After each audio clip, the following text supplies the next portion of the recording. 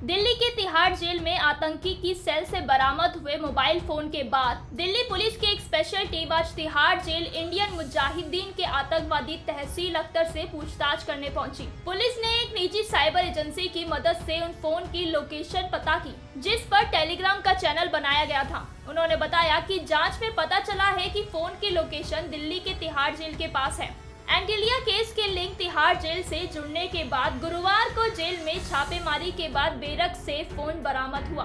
बताया जा रहा है कि इसी फ़ोन से टेलीग्राम चैनल बनाया गया, जिसके बाद अब जेल प्रशासन पर सवाल उठ रहे हैं। इस पर दिल्ली के गृह मंत्री सत्येंद्र जैन ने कहा कि इस मामले में जाँच के आदेश दिए गए हैं और जो भी दोषी पाया जाएगा, उसके खिलाफ कार्रवाई होगी।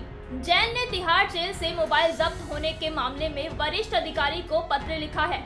और पूरे मामले पर रिपोर्ट मांगी है। आपको बता दें कि तहसील वही शख्स है जिसने पटना के गांधी मैदान में प्रधानमंत्री नरेंद्र मोदी की रैली में बम धमाके, हैदराबाद और बोधगया के बम धमाकों में शामिल था। पुलिस की स्पेशल टीम इस मामले पर कड़ी कार्रवाई कर रही है। ऐसे ही देश और दुनिया की बड़ी खबरों को जानने के लिए देखते रहिए पंजाब केसरी।